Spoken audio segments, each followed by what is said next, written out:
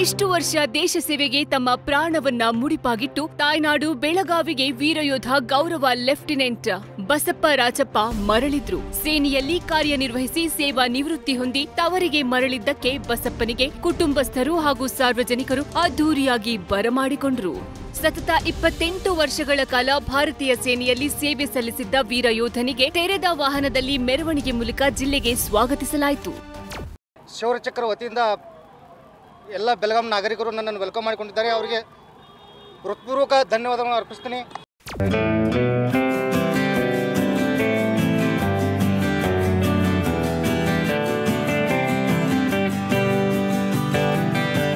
ಬೆಳಗಾವಿಯ ರೈಲ್ವೆ ನಿಲ್ದಾಣದಿಂದ ಚೆನ್ನಮ್ಮ ವೃತ್ತದವರೆಗೆ ಭಾರತ್ ಮಾತಾ ಕಿ ಜೈ ಘೋಷವಾಕ್ಯದೊಂದಿಗೆ ಕರೆತರಲಾಯಿತು. ಚೆನ್ನಮ್ಮ ವೃತ್ತದಲ್ಲಿ ವೀರ ರಾಣಿ ಕಿತ್ತೂರು ಚೆನ್ನಮ್ಮ ಪ್ರತಿಮೆಗೆ ಪತ್ನಿ ಸುಜಾತಾ ಜೊತೆ ಮಾಲಾರ್ಪಣೆ ಮಾಡಿದ್ರು. ಇದೇ ವೇಳೆ ಬೆಳಗಾವಿ ಬಿಜೆಪಿ ಸಂಸದೆ ಮಂಗಲಾಂಗಡಿ ಹೂಗುಚ್ಚ ನೀಡಿ ಗೌರವ ಲೆಫ್ಟಿನೆಂಟ್ ಬಸಪ್ಪ ಮುಗಳಿಹಾಳರನ್ನ ಸ್ವಾಗತಿಸಿದ್ರು. ಇವರು ಸಾವಿರದ ಒಂಬೈನೂರ ತೊಂಬತ್ತೊಂಬತ್ತರ ಕಾರ್ಗಿಲ್ ಯುದ್ಧದಲ್ಲಿ ಹೋರಾಡಿ ಜಯ ಸಾಧಿಸಿ ಆಗಸ್ಟ್ ಹದಿನೈದರಂದು ಆಗಿನ ರಾಷ್ಟ್ರಪತಿ ಕೆಆರ್ ನಾರಾಯಣ್ ಅವರಿಂದ ಶೌರ್ಯ ಚಕ್ರ ಪ್ರಶಸ್ತಿಯನ್ನ ಪಡೆದಿದ್ದಾರೆ. ಹೀಗಾಗಿ ಅವರಿಗೆ ಅಭಿನಂದನಾ ಸಮಾರಂಭ ಏರ್ಪಡಿಸಲಾಗಿತ್ತು.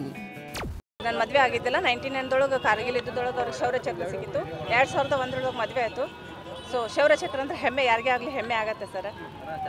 ಒಬ್ಬ ಆರ್ಮಿಯವ್ರ ಹೆಂಡತಿಯಾಗಿ ನಂಗೆ ಪ್ರೌಡ್ ಫೀಲ್ ಮಾಡ್ಬೋದು.